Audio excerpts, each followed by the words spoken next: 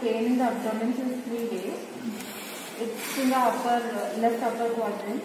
Uh, and she says it's associated with SOB since three days. Uh, in the past history, she was uh, incidentally diagnosed with uh, ASD. So she had her first episode seven years ago. And again, one year ago, she had the same episode. And then two months ago, she had a fall. And after that, the severity of the pain increased in that episode. Uh, where was the pain? Uh, she said in the uh, epigastric region. Hmm. Today she was showing paining here. She said it's radiating to the heart. Hmm. So epigastric pain radiating to the back. Okay. We And, uh, and six years back what happened? Seven years ago. Seven years back what happened? She was incidentally diagnosed with ASD. No, incidentally, how get incidentally? Like she had an episode and when she Ah, she had an episode. So what was that episode?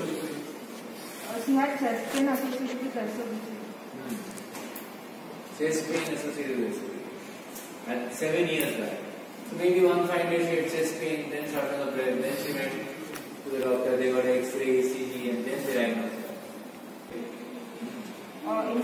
shape of the chest was balanced. Ah. Uh, apical, uh, no visible pulsations and no inward superficial veins, no scars and no, uh, on inspection of the back, the back was normal. Ah. On palpation, uh, there were no thrills, no palpation, trachea was central. Ah. Inspiratory findings were confirmed. On auscultation, latex beat was felt in a fifth inter- fifth intercostal space. If it's because failure and auscultation. You have palpation. Sorry, and palpation. Increases the third number. Fifth Fifth intercostal. interval. Okay. And an So how was the apex? Was it well localized or was it diffuse? to Hmm? to local level. Well localized. Like you were feeling the apex in this area in the hill space, then you were feeling it here also, you were feeling it here, you were feeling it here, and it's merging with the parasternum. That would be a diffuse apex, not well localized. Whereas if you are feeling it only to a 2.5 centimeter area, that is a well localized. Generally, the apex is well localized in normal individuals, but it is mostly well localized when you have a left ventricular problem. The apex is basically the left ventricle, and when the right ventricle becomes dominant, the apex goes behind, and the right ventricle is all in front. And the right ventricle doesn't have an apex. So in right ventricular type, you do not get an apex. You always get everything everywhere. So here you are saying the left ventricle was filled as per you. Okay. Ah. Hyperdynamic. Very good. Hyperdynamic and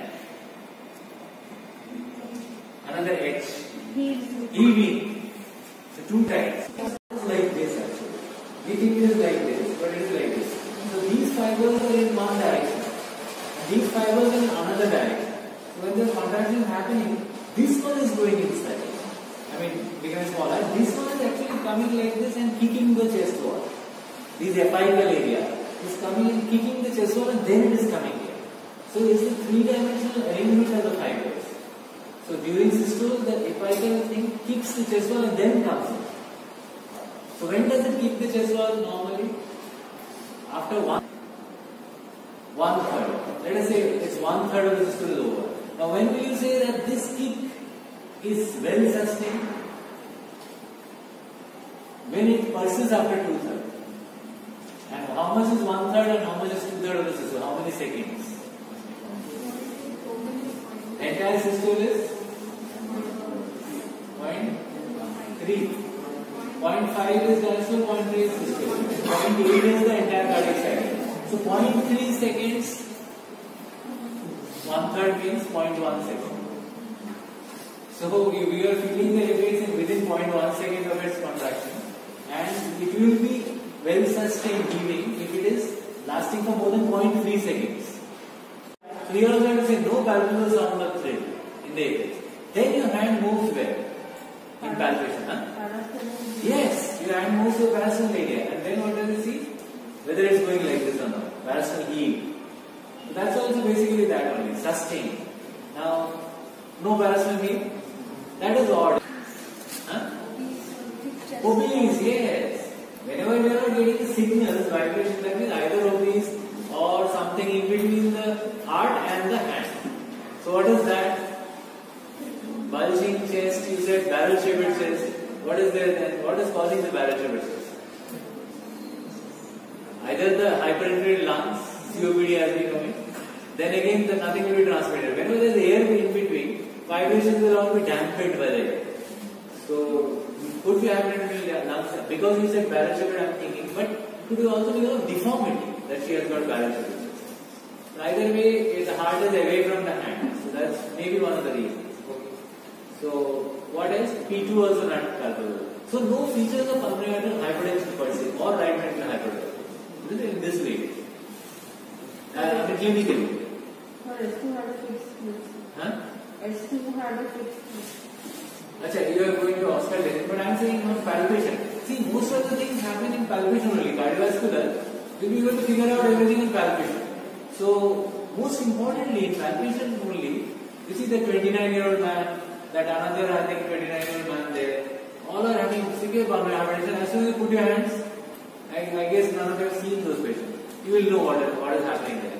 Your hand is getting lifted up, the P2 is very sharp. You can palpate the P2. You can, you can palpate it so well, you may not be able to hear it that. So that's called diastolic shock. You, can, you should all go and palpate those two people. Uh, so somehow you are not suggesting any feature of pulmonary hypertension in this lady. But still, on inspection, can you tell us something? Inspection very visible. If you have looked for it. Gravity place. Yeah, JVP is. So JVP is a feature of pulmonary hypertension, right? What else? Inspection elsewhere. Where else does the right ventricle show itself? Because right ventricle if you know the anatomy, where all will it be showing? One is the parasternal area, where else? Below. Where is hypertrophy? The right ventricle is sitting on something. Diaphragm. So it will be seen as epigastric pulsations. So prominent epigastric pulsations, not only aortic pulsations or aortic aneurysm, right ventricular hypertrophy. Very important. In fact, some people don't even, like for such patients, okay, so S1 was loud in the mitral area.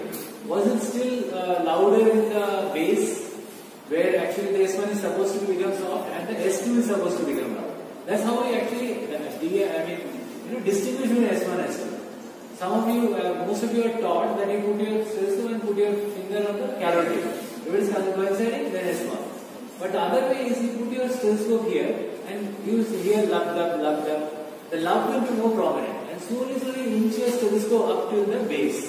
And in the base also happens that lub will become less prominent, dub will become more. Automatically it happens with everybody. And every student should practice this to figure out which is S1, which is S2. So you are saying S1 was loud here. What about in the region where S2 should be anyway loud? What was the S1 there? It was still loud. So that means it is really very loud. Very loud S1. So where did you get a loud S1? Yes, mitral the LA pressure is high, then the mitral valve is maximum open and then only it comes from far and tap will make the louder sound, very close. So basically the loud first sound indicates a high LA pressure, which means that the valve leaflets are wider apart. So then it makes a loud sound. So look at this. Nobody has seen such a P, P wave, isn't it? Uh, Himalayan P, such a long, tall, tented P. We only read about it in the books. Never knew that these things would be seen also. You see? Look at this P. So what does this P suggest? Also known as Tall P pulmonale. It's also called P pulmonale. Why is it called pulmonale? Something to do with pulmonary. Yeah. Pulmonary what? Yeah, no, no, but what, why pulmonary? So, yeah, so you were saying something. Yeah, pulmonary hypertension, you get P pulmonary. So, why in pulmonary hypertension you get P pulmonary?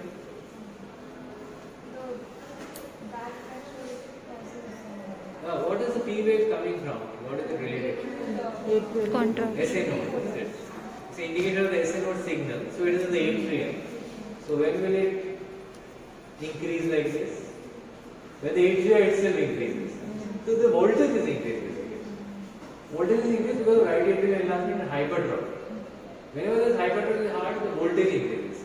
So P pulmonary. Now if this was the left atrial enlargement, yeah, then something else would have happened to the P wave. See, that's also coming from both the atria, but the SC node is there, not in the left side. Right side. Hmm. Right atrium. But then when the left atria is affected, then this P wave becomes bifid. And in between the notch, there is more than one box, 0.04, more than 0.2. That is P mitrale. And of course, you can also have biphasically. I don't know, no, no biphasically R wave. It never rises so much. So RS ratio, normally it's the S wave which is big. So RS ratio more than 1, we say it's suggestive right ventricular hypertrophy. But there also the voltage matters. We might have a little bit of R and a little bit of S there. So that may not be a little really right ventricular hypertrophy. This is right ventricular hypertrophy. Not only that, look at the arrowhead T wave inversion. That again is suggestive of hypertrophy. Like you have the same in the left ventricular leads in left ventricular. That kind of arrowhead inversion. So this is all suggesting right. The heart is looking almost normal size. There is no cardiomegaly per se. A little bit cardiomegaly is there. But what is prominent here? So Shivani, what is the what are the structures on the left side of the heart in the uh, huh? First, first thing. Aortic knuckle. Yeah, where is the aortic knuckle? This is the aortic knuckle, the topmost one. Okay, and from the aortic knuckle, then what comes? Pulmonary vein, and then Left. very good, left atrial appendage, and then Left ventricle. left ventricular free posterior wall. Yes. So what is happening in aortic knuckle and left atrial appendage? What should it be? It should be concave. But look how big convexity has come. So what is that convexity? That is the fullness of the pulmonary vein, which means the main pulmonary artery is dilated, hugely dilated. Such a big pulmonary artery. And not only that, the right inferior lower branch of the pulmonary artery is also very much dilated. This should be more, not more than 1.2 centimeters in female. This is around 2.5 to 3 centimeters. This should be concave. It is completely taken up. Now, where is the left pulmonary artery you will wonder? The left pulmonary artery comes out from here and goes posteriorly and then gives the upper and lower lower branch. So you can't see it. So what you can see is the right inferior lower branch and the main pulmonary artery. And both are very much dilated. So it's a severe pulmonary artery hypertension from childhood with right ventricular hypertrophy so severe. And these are classical osteoporotic fractures. And this lady is how much old? 60. 60. Sixty. Not very old. Not very old to have these osteoporotic fractures. So something is happening which is causing this premature osteoporotic fracture. And this is what happens to all old ladies. They develop fracture and then slowly, slowly they become bent like this. And that is what has happened to her. Her this chest wall is getting deformed because of these osteoporotic. And slowly, slowly she will become bent like this.